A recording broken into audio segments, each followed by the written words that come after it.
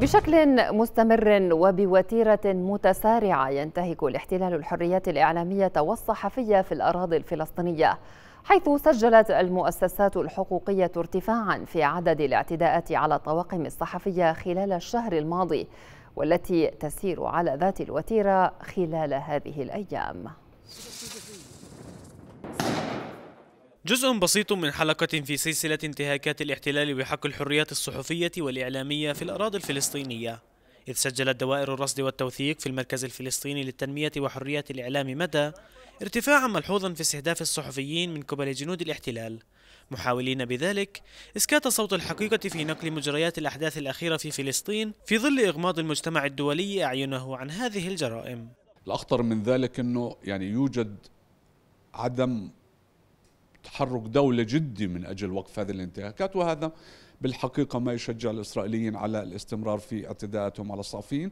كما قلت يعني هذا العدد الكبير من الشهداء الصحفيين في الأراضي الفلسطينية المحتلة يؤكد يعني على هذه السياسة الخطيرة التي تنتهجها قوات الاحتلال من أجل إسكات الصحفيين الفلسطينيين. آخر استهداف مباشر للطواقم الصحفية سجل في قطاع غزة خلال أحداث الجمعة الأخيرة.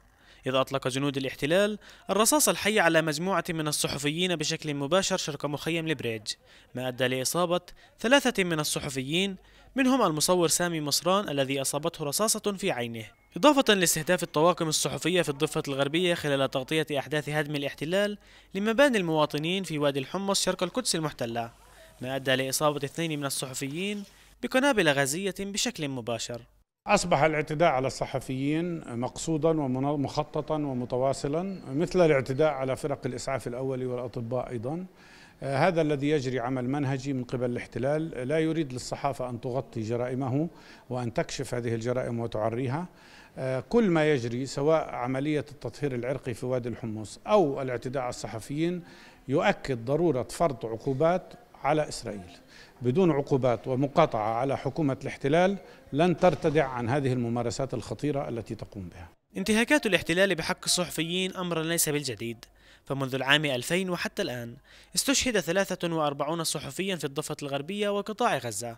وخلال هذا العام سجل المركز الفلسطيني للتنمية وحرية الإعلام 28 اعتداء على الصحفيين خلال الشهر الماضي. من مدينة رام الله المحتلة محمد حسين.